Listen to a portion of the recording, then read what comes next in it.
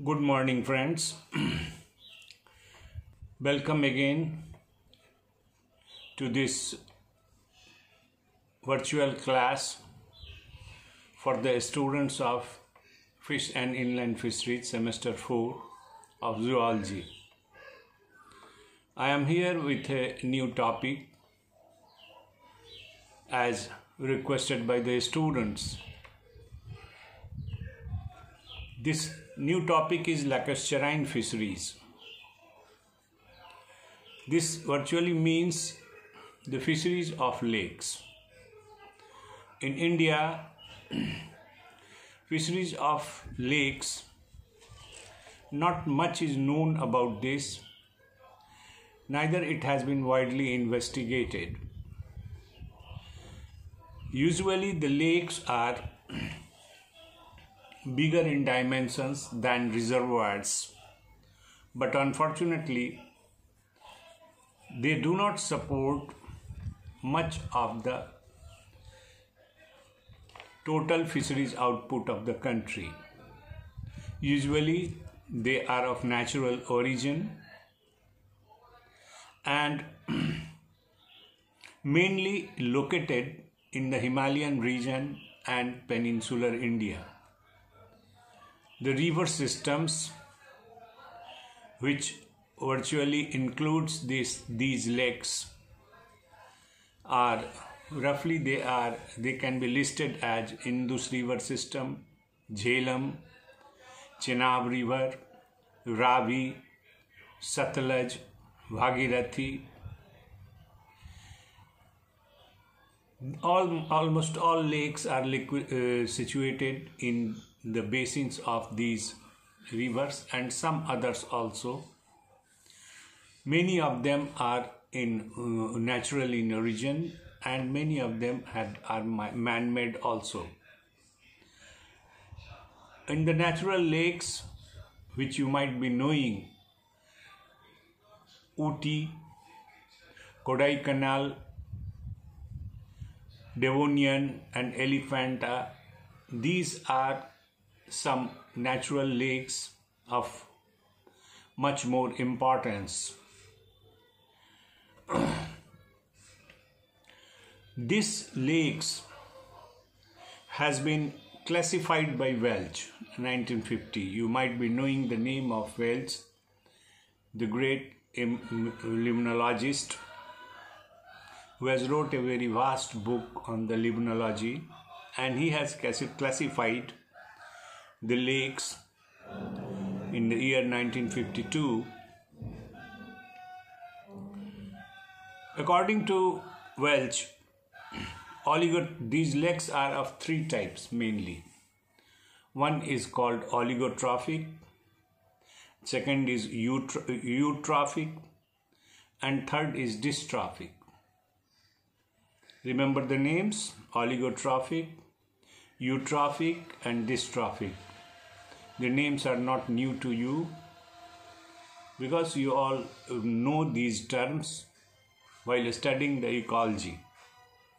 These lakes, among these oligotrophic lakes, are relatively deep one and known to be less productive because they have a poor nutritional status and so there is a low phytoplankton count. Because they are low in phytoplankton count, obviously they do not support the major most of the fishes because phytoplanktons constitutes one of the most preferred food for fishes and so they they are known to be less productive. Second is eutrophic Eutrophic lakes, though they are much more productive in comparison to other ones, but they are shallow lakes and become warmer. Since they are warmer, they support the phytoplanktons and these lakes, eutrophic lakes, have rich phytoplanktons and in India, these eutrophic lakes are very common. Though the number of fishes are found in these are numerous, but commercially important fishes are less. Not so much. And like uh, the last one is dystrophic fishes. These dystrophic fishes are not known for the fisheries uh, resources.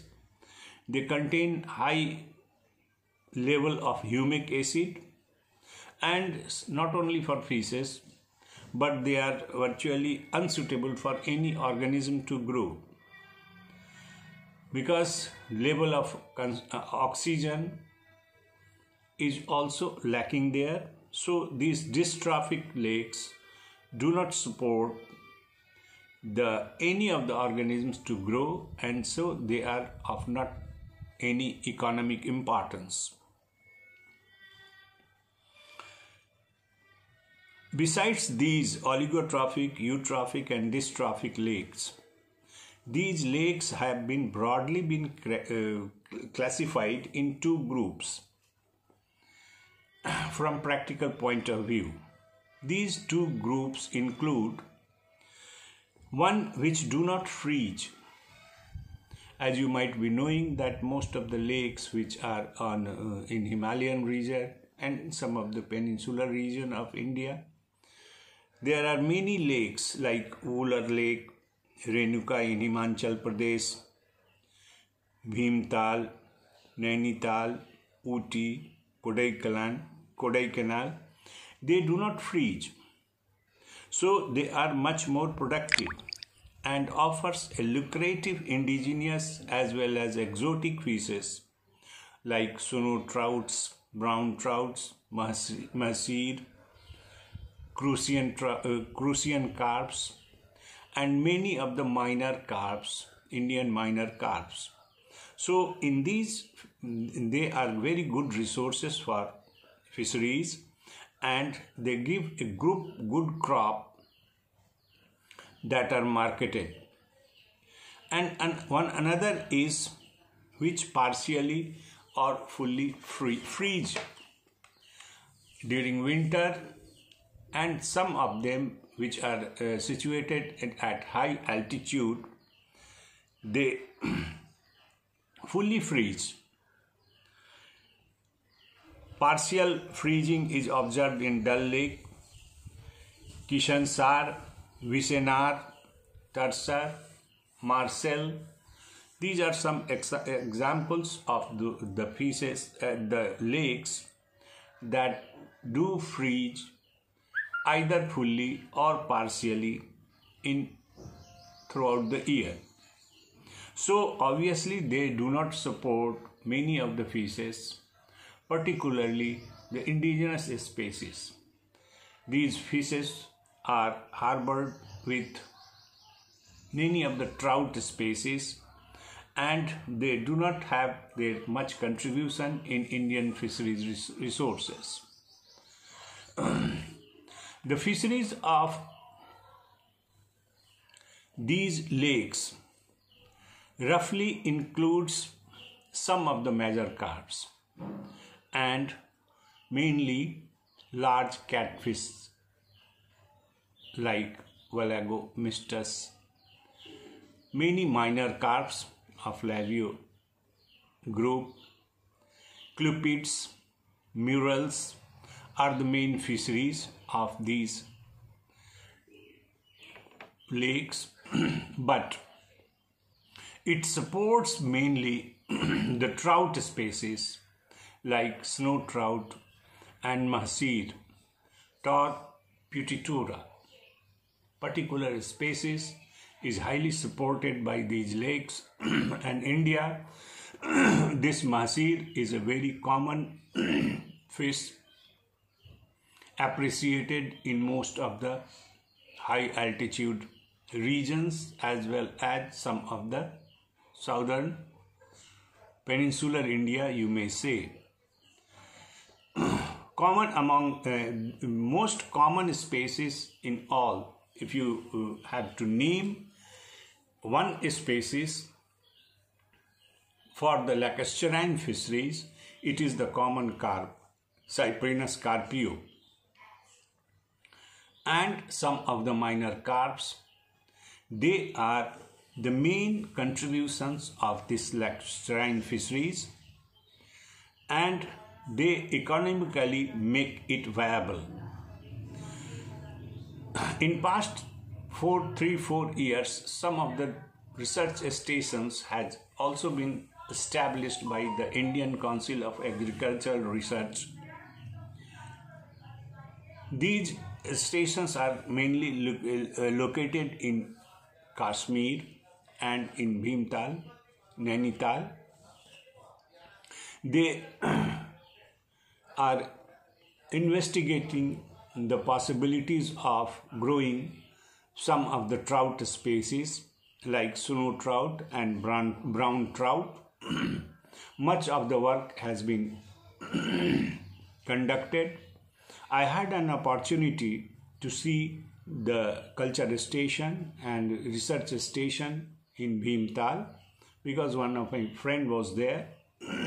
so I had been there to see, and they are very they have very success, successfully cultured the fish species of the, these uh, rainbow trout, brown trout, and snow trout, and they have introduced and they are getting uh, a good culture practice there and good um, return, economic return from these lakes. now, the seeds in these lakes are either come from the natural resources, but now the practice in India has also been started to produce commercially the natural seeds of the species desired by them. But these are highly, highly variable. There is not a plan.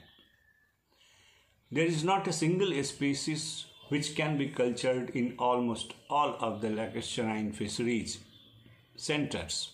So, due to this, a common pattern is not being possible and it is difficult for one research station to feed on the different requirements of different places. If you come to the state-wise statistics, in Jammu and Kashmir there are seven lacustrine um, lakes, Himachal five, Uttarakhand four, Sikkim one, Arunachal two, Manipur 1 and Tamil Nadu 1. So altogether there are 23 lacustrine fisheries stations or you may say lake. These all cover about the um, 20,500 hectares area and it is difficult to have a total, a total statistics on the total productivity of these ponds because these are highly variable due to variable climatic factors and nutritional factors.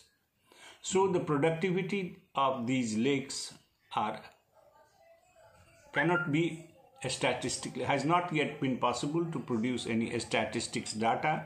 However, individual statistics data on the production of each of them is available and these the contribution of these lacustrine fisheries in Indian fisheries scenario is not too much.